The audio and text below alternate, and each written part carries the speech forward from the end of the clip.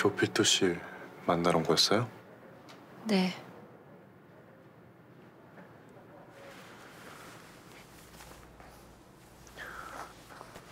조필도 씨가 죽은 건 주임 씨 탓이 아니에요.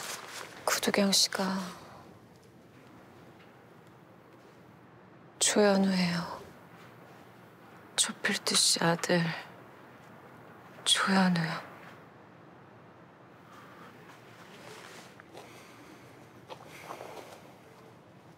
알고 있었어요? 네. 바로 알려줬어야 했는데 미리 말 못해서 미안해요. 근데 어떻게 한 거예요?